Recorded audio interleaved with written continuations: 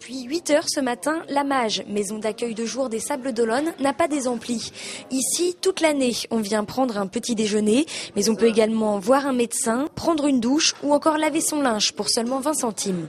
Ça permet de rester propre tous les jours et euh, aussi ça permet que c'est convivial parce qu'ici on est tous ensemble. Donc on, on s'entraide entre nous. S'il n'y aurait pas des structures comme ça, on serait déjà euh, à être par terre à la gare ou quoi que ce soit, quoi, à faire la manche. À midi, pour un euro, on a droit à un repas complet et chaud.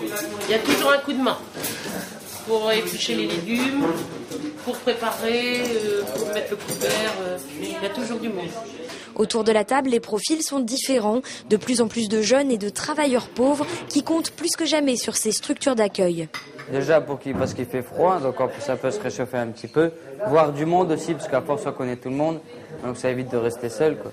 Il y en a qui s'accrochent beaucoup à la mâche parce que c'est aussi le seul lien qu'ils ont. Euh, ils ont pour la plupart pour rupture familiale, donc euh, on est un peu une famille pour eux. On les aide à faire la démarche, à passer des coups de fil, chercher des logements. Euh, on les pousse après à aller aussi à la PSH, donc au, siège social où il y a tout ce qui est rendez-vous, suivi et compagnie. Au revoir.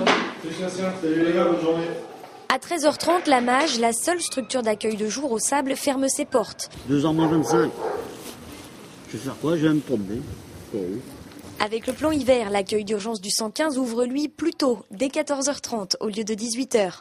Là aussi, il y aura du monde tout l'après-midi et ce soir, ces 18 couchages seront bien occupés.